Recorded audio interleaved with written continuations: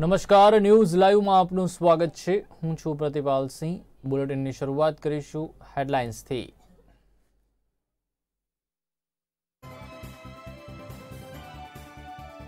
Putin બોલ્યા, Russia ભારતમાં rifle missile system બનાવશે.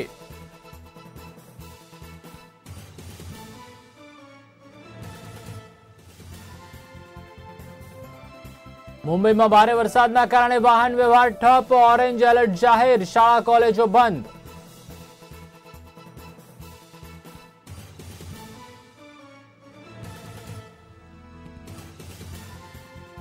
બોર્ડર પરથી બે આતંકી પકડાયા. સેનાએ કહ્યું, કાશ્મીરમાં હિંસાનું કાવતરું ઘડી રહ્યું છે પાકિસ્તાન.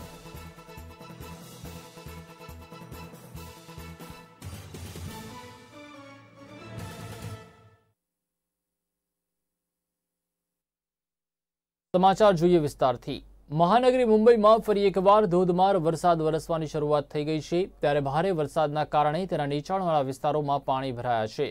મોટાભાગના રસ્તાઓ પાણીથી છલોછલ છે તો બીજી બાજુ ઘણા મકાનોમાં પાણી ઘૂસી ગયું છે.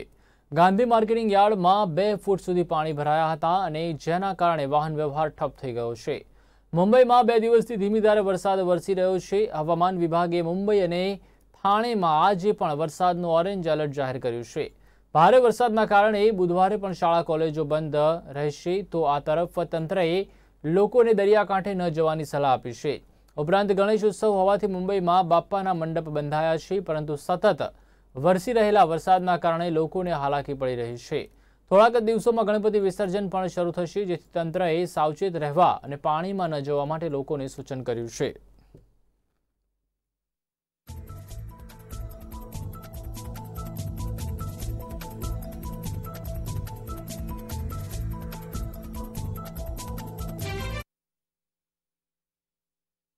તો દક્ષિણ ગુજરાતમાં છેલ્લા ચારેક દિવસથી વરસાદનું જોર જોવા મળી રહ્યું છે. નવસારી જિલ્લામાં ભારે વરસાદ વરસી રહ્યો છે.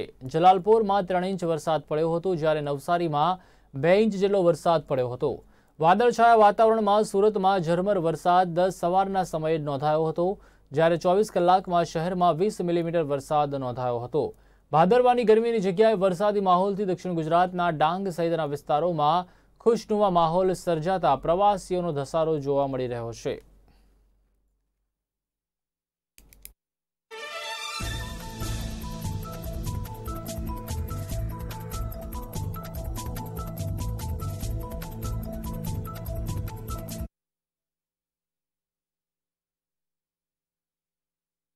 તો આ તરફ અરવલ્લી જિલ્લામાં ફરીથી વરસાદી માહોલ જોવા મળી રહ્યો છે. જિલ્લાના સરદાઈ, લાલપુર, પાદર, શામપુર, સજાપુર અને ટાટાસર જેવા ગામોમાં સવારે છ વાગ્યાથી વરસાદ શરૂ થઈ ગયો હતો અને અત્યાર સુધીમાં સાડા ત્રણ ઇંચ જેટલો વરસાદ નોંધાઈ ચૂક્યો છે. એવા અહેવાલો પણ છે કે પડી રહેલા વરસાદને કારણે અમુક ગામો બેટમાં ફેરવાઈ ગયા છે. હવામાન વિભાગની આગાહી છે કે ગુજરાતમાં હજુ પણ ત્રણ દિવસ વરસાદ પડી શકે છે.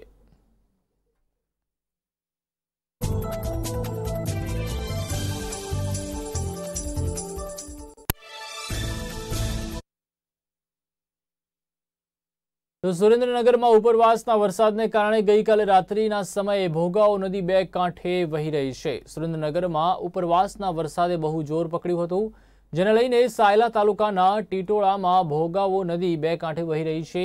નદીનું બે કાંઠે વહેવાનું કારણ આપણા અપાતા તંત્ર જણાવે છે કે ગઈકાલે ચોટીલા ગામના ગ્રામ્ય વિસ્તારમાં ધોધમાર વરસાદને લઈને ભોગાવો નદીમાં પાણી આવ્યું છે.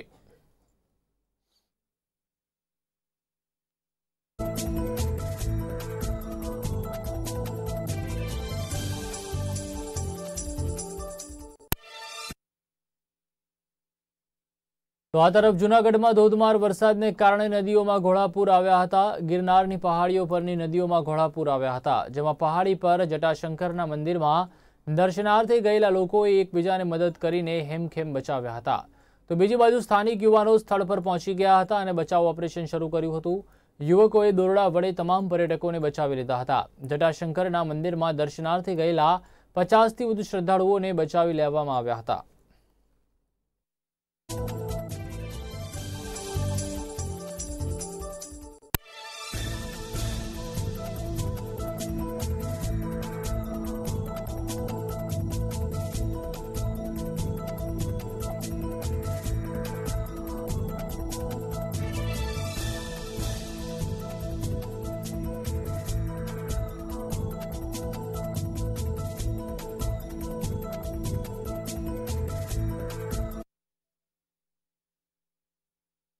તો કરતારપુર કોરિડોરને લઈને કેટલાક મુદ્દાઓ પર વૈચારિક મતભેદના સમાધાન માટે અટારી સડક સીમા પર ભારત પાકિસ્તાન બેઠક ચાલી રહી છે. બેઠકમાં બંને દેશો વચ્ચે બની રહેલા પહેલા વિઝા ફ્રી રસ્તા પર મહત્વપૂર્ણ નિર્ણય થશે. ઇન્ટરનેશનલ શીખ સંમેલનમાં ઇમરાન ખાનના ભાષણ બાદ આ વાતની સંભાવના છે કે પાકિસ્તાન ભારત સરકારની દસ હજાર શ્રદ્ધાળુઓને શ્રી કરતારપુર સાહેબના દર્શનની આજ્ઞા અપાવવાની શરત સ્વીકારી લેશે. આ બેઠકમાં બંને દેશોના ઉચ્ચ અધિકારી અટારી સીમા પર સ્થિત ઇન્ટિગ્રેટેડ ચેકપોસ્ટની મીટિંગ હોલમાં કરતારપુર કોરિડોરના સંચાલન અંગે પણ ચર્ચા કરશે.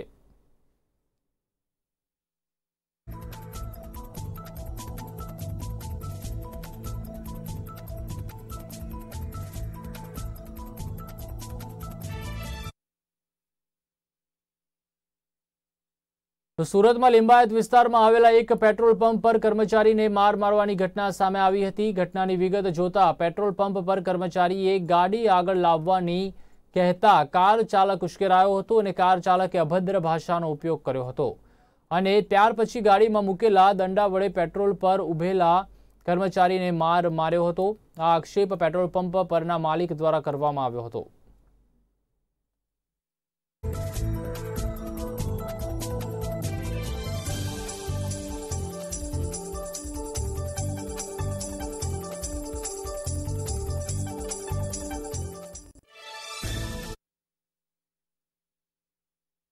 તો નડિયાદ રિંગ રોડ પરની દુર્ઘટનામાં એક રિક્ષા પલટી ખાતા એક વ્યક્તિનું મોત થયું હતું અને બીજા ત્રણને પણ ગંભીર ઇજાઓ પહોંચી હતી. બનાવની વિગતો જોતા અકસ્માત રિંગ રોડ પર સર્જાયો હતો, જ્યાં પેસેન્જર રિક્ષા પલટી ખાવાથી એક વ્યક્તિનું ઘટના સ્થળે જ મોત નીપજ્યું હતું. અને બીજા ત્રણને ઈજા પહોંચી હતી. ઈજાગ્રસ્તોને સારવાર અર્થે સિવિલ હોસ્પિટલ ખસેડવામાં આવ્યા હતા. અકસ્માતની જાણ થતાં જ નડિયાદ રૂરલ પોલીસ ઘટના સ્થળે દોડી આવી હતી અને આગળની કાર્યવાહી હાથ ધરી હતી.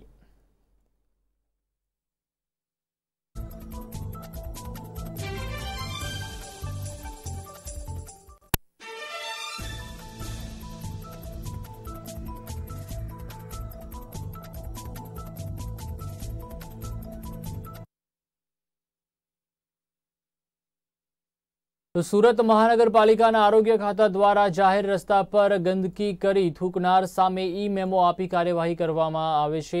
અત્યાર સુધી વીસ દિવસની અંદર સિત્તેરથી વધુ લોકોને ઈ મેમો ફટકારવામાં આવ્યો છે. આ મેમો બે હજાર બારમાં પબ્લિક હેલ્થ રૂલ્સ મુજબ ફટકારવામાં આવે છે. લોકો જો પોતાની જાતે સ્વચ્છતા તરફ પોતાનું યોગદાન ન આપે, ત્યારે તેમણે આ રીતના દંડ અને સજા આપવી જરૂરી બને છે.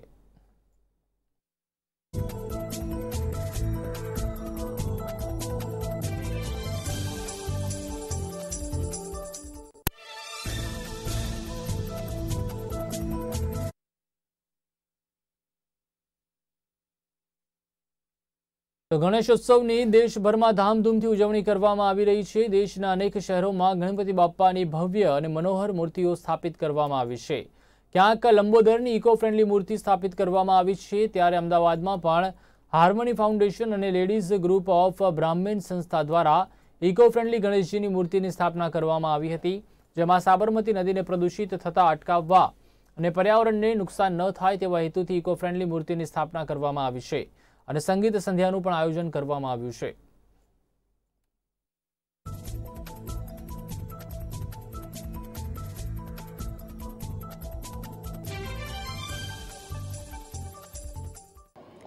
એકચ્યુઅલી પર્યાવરણ માટે અને આપણી આવનારી પેઢી માટે આપણે જળ પણ બના, બચાવવાની જરૂર છે. અત્યારે હાલ જળ જળ પ્રદૂષણ પણ ઘણું થાય છે જ્યારે આપણે પીઓપીની મૂર્તિઓ એમાં વિસર્જિત કરતા હોય છે ત્યારે.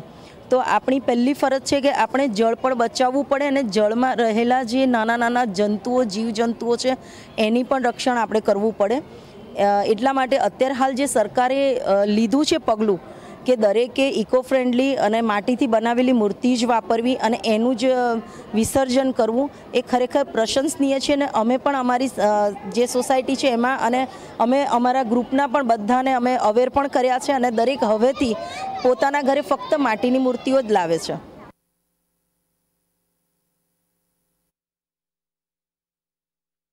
આ તરફ કેન્દ્રીય ગૃહમંત્રી અમિત શાહ ગઈકાલે રાત્રે અમદાવાદ આવી પહોંચ્યા હતા. અમદાવાદ એરપોર્ટ પર તેમનું સ્વાગત જીતુ વાઘાણી અને પ્રદીપસિંહ વાઘેલાએ કર્યું હતું. શહેરની એક નામાંકિત હોસ્પિટલમાં તેમની સર્જરી કરાવવા અને સામાજિક પ્રસંગમાં હાજરી આપવા કેન્દ્રીય ગૃહપ્રધાન અમદાવાદ પહોંચ્યા હતા.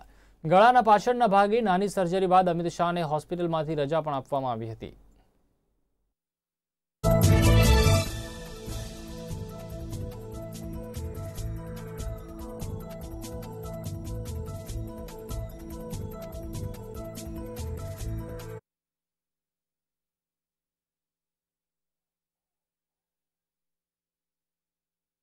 તો આ તરફ જમ્મુ અને કાશ્મીરમાંથી આર્ટિકલ ત્રણસો સિત્તેર હટાવ્યા બાદ પાકિસ્તાનના પેટમાં જાણે તેલ રેડાયું હોય તેમ જમ્મુ કાશ્મીરની શાંતિ ડહોળવાના પ્રયાસો તે કરી રહ્યું છે. ભારતીય સેનાએ પાકિસ્તાનના બે આતંકવાદીઓની ધરપકડ કરી મોટી સફળતા પ્રાપ્ત કરી હતી આતંકીઓ સાથેની પૂછપરછમાં બંને આતંકીઓ પાકિસ્તાની લશ્કર સાથે જોડાયેલ હોવાનું બહાર આવ્યું હતું.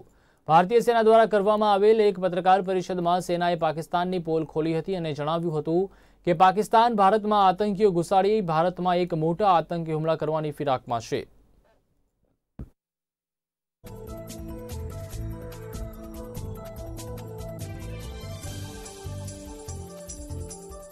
very important aspect of terrorism being sponsored and being supported by Pakistan in Kashmir Valley to disrupt the peace and the harmony especially the desperate attempts on Pakistan's behalf or Pakistan's part after 5th of August. In this, as you are aware, Pakistan is desperate to infiltrate maximum terrorists into Kashmir Valley. All the launch, launch pads as of now are full and infiltration attempts are being made every day to infiltrate the terrorists into Kashmir Valley to disrupt peace. In one such attempt, on 21st of August, we have apprehended two Pakistani nationals. दो पाकिस्तान के बशिंदे जो लश्कर तोयबा से ताल्लुकात रखते हैं two Pakistani citizens who belonged to proscribed terrorist outfit Lashkar-e-Toiba were apprehended live by the Indian Army.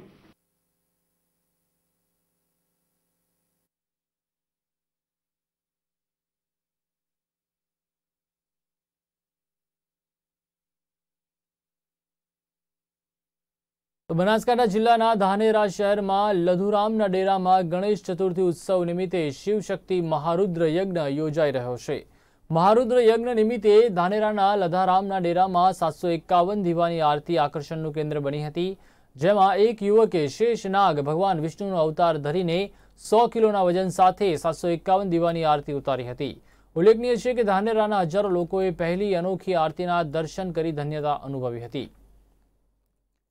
અન્ય સમાચારો તરફ નજર કરીએ તો સાયલાના થોરિયાળી ડેમ ઓવરફ્લો થયો હતો. ઉપરવાસ તેમજ સ્થાનિક વિસ્તારમાં પડેલા ભારે વરસાદને પગલે બાવીસ ફૂટની ક્ષમતાવાળો ડેમ ઓવરફ્લો થતાં નીચાણવાળા વિસ્તારમાં એલર્ટ આપી દેવામાં આવ્યું છે. ડેમમાં હાલ પાંચ હજાર એકસો ત્રેવીસ ક્યુસેક પાણીની આવક થઈ રહી છે, ત્યારે બોરાણા, બોડિયા, જૂની મોરવાડ અને ચોરણિયા જેવા ગામોને એલર્ટ કરવામાં આવ્યા છે.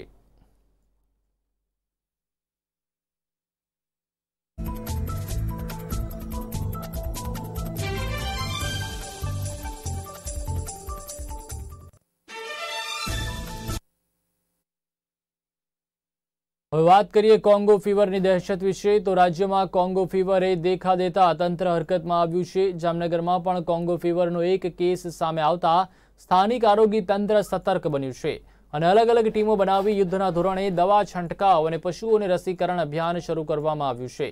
શહેરના નીલકંઠનગર અને સુમરલાલ વિસ્તારમાં તંત્ર દ્વારા કાર્યવાહી હાથ ધરીને લોકોને અફવાઓથી દૂર રહી ભયભીત ન થવા અપીલ કરવામાં આવી છે.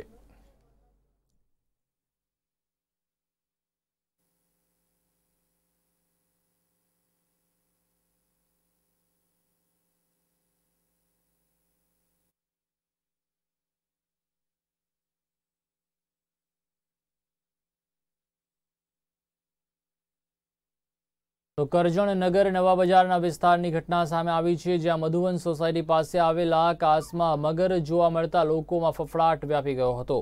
વડોદરાથી આવેલ ક્રોકોડાઇલ રેસ્ક્યુ ટીમના જવાનોએ રાત્રિના પાંચ કલાકની જહેમત પછી છ ફૂટ લાંબા મગરને પકડી શક્યા હતા અને મગરને પકડ્યા પછી રેસ્ક્યુ ટીમે કરજણ વન વિભાગને સોંપી દીધો હતો.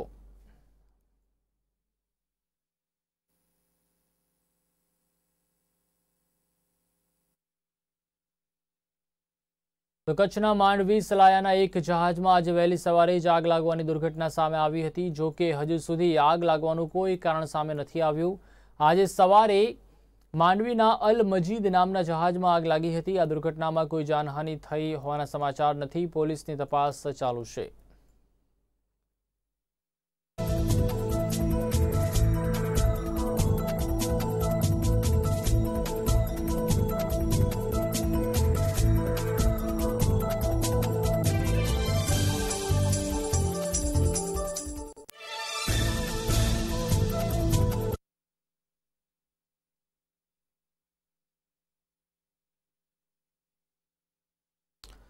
તો ભાદરવી પૂનમને લઈને હમણાંથી માઈ ભક્તો અંબાજી પગપાળા જવા રવાના થઈ ગયા છે, જેથી તેઓ પૂનમ સુધીમાં અંબાજી પહોંચી શકે.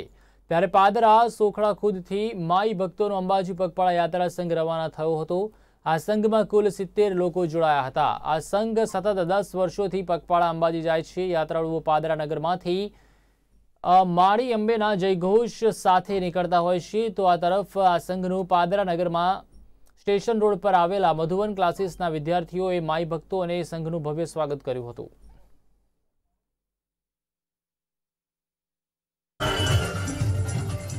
સોખડા ખુરથી સતત દસમા વર્ષે ભાદરવી સુદ પૂનમના અંબાજી મેળામાં અમે પગપાળા યાત્રા કરીએ છીએ અને વિવિધ સ્થળોએ રાત્રિ રોકાણ કરીશું. અમે તારીખ ચાર નવ બે હજાર સત્તર ભાદરવા સુદ સાતમના રોજ સોખડાથી નીકળીને વિવિધ ગામોમાં રાત્રિ રોકાણ કરીને ભાદરવા સુદ ચૌદસના રોજ અંબાજી પહોંચીશું. અને ભાદરવસી પૂનમ તારીખ ચૌદ નવ બે હજાર ઓગણીસના રોજ અંબાને અમારું નિશાન અર્પણ કરીશું.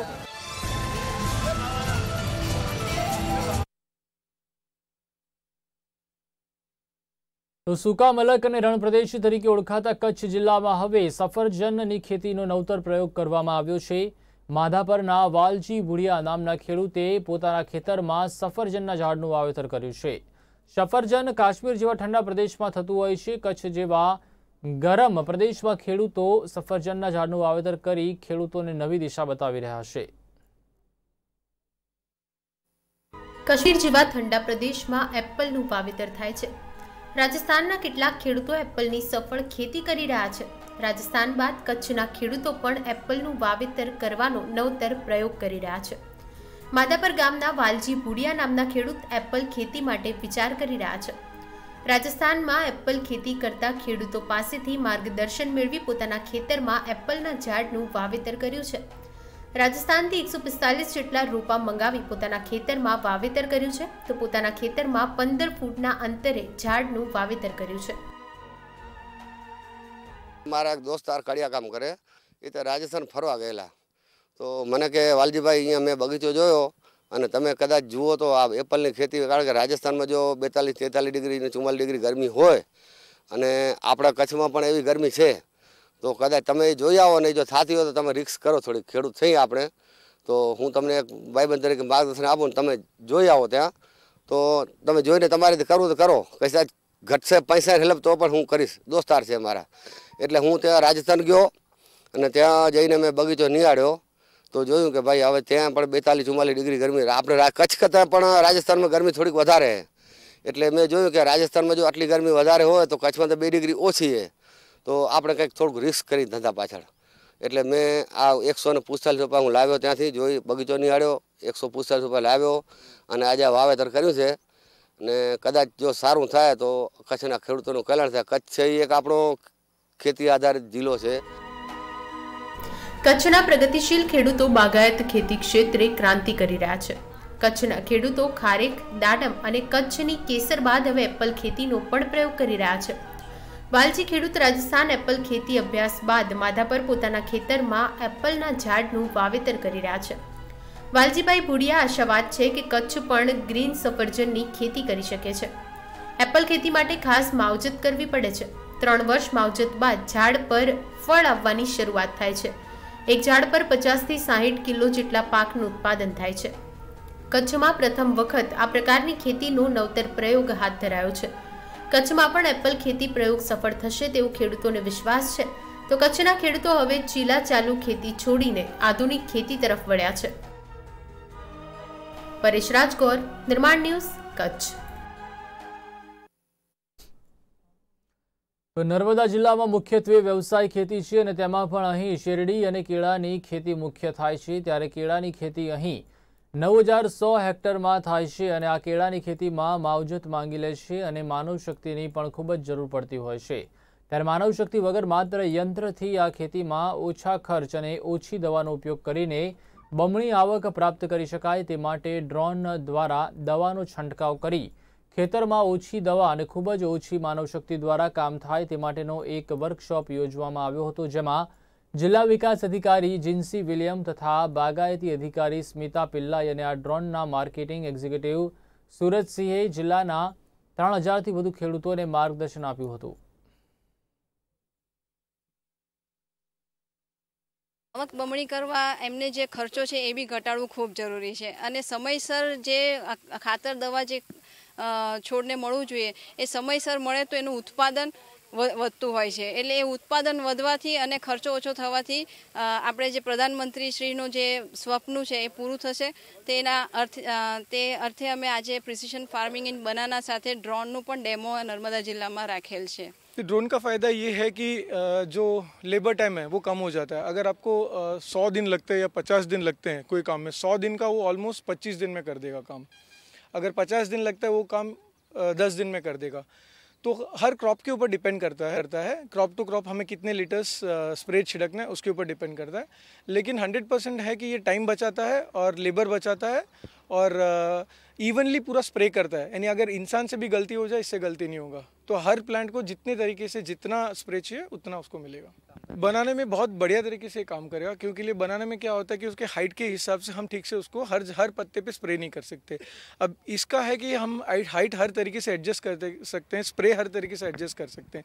तो इवनली हमें जितना केमिकल्स डालना है या जो भी हमें पेस्टिसाइड छिड़कना है, वो इवनली हर क्रॉप पर एक तरीके से रहेगा और हर, क्या बोलते हैं हर पत्ते पे जाएगा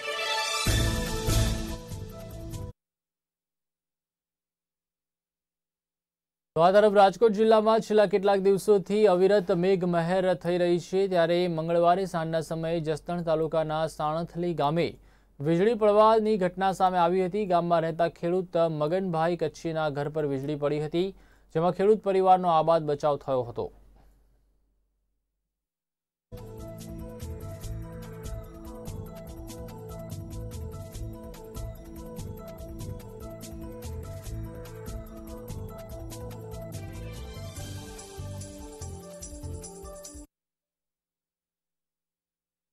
તો ન્યૂઝ લાઈવમાં હાલ બસ આટલું જ. હવે આગળ જોઈશું કે આજે બાબો શું કહી રહ્યો છે. એ પપ્પા પપ્પા હવે છે ને મમ્મીની તમારે કોઈ વાત સાંભળવાની નહીં. કારણ કે એનું કંઈ ચાલતું નથી. કેમ? તને શું વાંધો છે? શાળા કમિટીએ કીધું તોય ફી ક્યાં પાછી મળે છે? ચૂપ!